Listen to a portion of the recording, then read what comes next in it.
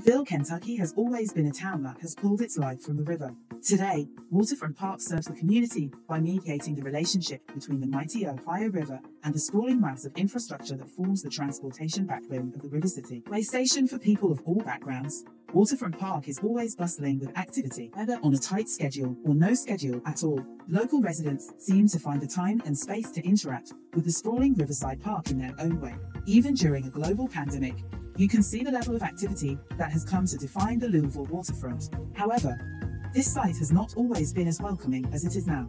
The current level of accessibility to the river's banks from the city is the result of decades of work on the part of planners and planning agencies, who have made the city's front lawn the institution that it is today.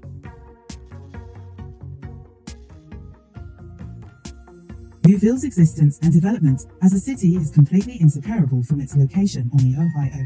In the second half of the 18th century, the first colonizing people formed a settlement on Corn Island, which was later moved to the current site of Louisville's downtown, later renamed in honor of the French king.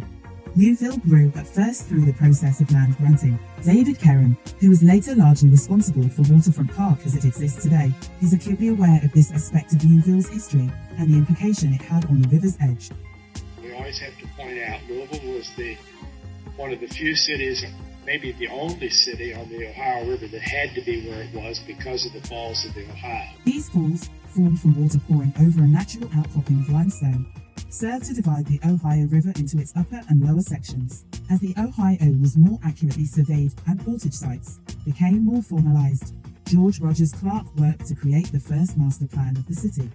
This original master plan recognized the importance of public access to the riverfront, and Clark codified the riverfront as space not developable for private purposes. By the early 1800s, Louisville was already a major trade stop.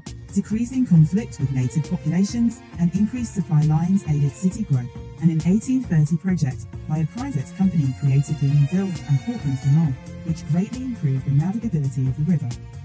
City growth increased along with river development projects, and by 1855, the city covered most of what is present-day downtown. By 1880, the government completed its consolidation of canal shares and successfully removed the river tolls, further increasing river trade. Throughout this development, the riverfront largely remained publicly accessible. As shown here, buildings did not extend to the river's edge, and the space was open for public and commercial use.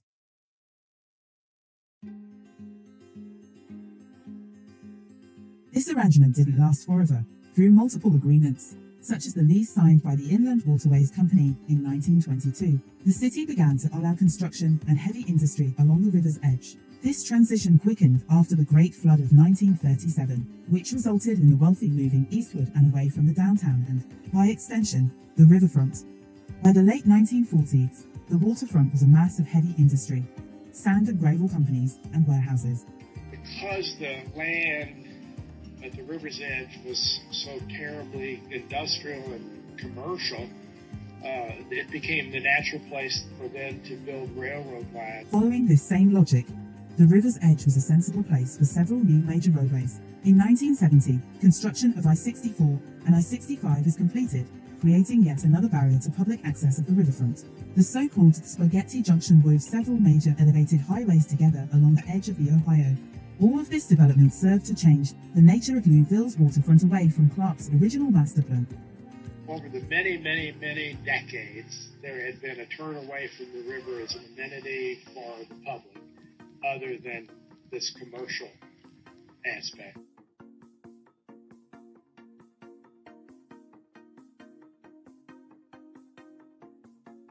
Even amid this shift in use for the Louisville waterfront, public and governmental focus was returning to the riverfront. In 1964 and 1965, the city applied for Federal Housing Administration loans to develop housing along the water's edge. Although these proposals were denied, the very act of application helps capture the changing views towards acceptable use along the river. Spurred on by a mix of public and private development near the edge of downtown, the city began work on a project known as the Belvedere, in essence a public park and plaza sitting atop a car park. Long-time local resident Patsy Dunnigan recalls the early days of the Belvedere after its 1972 construction. Downtown Louisville enjoyed it on lunch hours. Uh, there were festivals there after after work hours. There were wonderful ethnic festivals on weekends. Uh, it was really nice. There was not much open space in downtown Louisville at that point in time.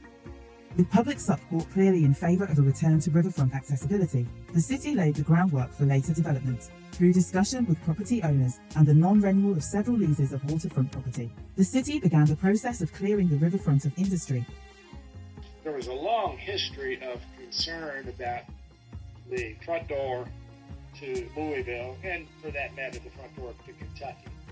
And so, the even the landowners who were there understood that there had been years of there had been years of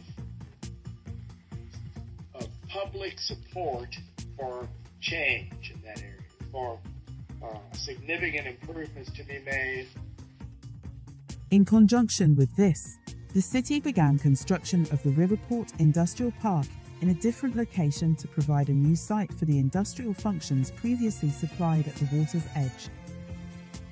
Our park is 85 acres total. Uh, in in that 85 acre footprints, there were two open bulk storage facilities. There were two asphalt terminals. There were three scrap yards. There was a dry concrete plant. There were two uh, or three other very heavy industrial kind of uses.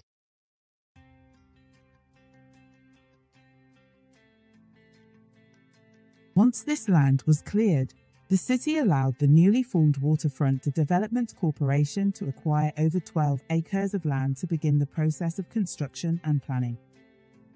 Cass Harris, who sat on the board of the WDC for about a year, recalls the build-up that led to the city's re-engagement with the waterfront. And at that point, it was still a, a three-way commission um, between the state, the county, and the city. And um, it was I think it started in '86, and um, it was something that had been talked about forever and ever and ever. Um, in local government circles. The WDC wasted little time, and by 1988, the city had identified the waterfront as one of the nine districts within the Central Business District. The WDC Master Plan published in 1990, called for the selection of a master plan designer. Later in 1990, Hargreaves Associates is selected to serve in this capacity. With the WDC, Hargreaves developed a multi-phase process to transform the riverfront into a new center of recreation. In 1999, after several years of construction, Phase 1, including bike trails to connect to other city parks, opens to the public. In 2000, docks are installed and, in 2004, Phase 2 opens. Also in 2004, the city and the WDC use eminent domain to seize the Big Four Railroad Bridge.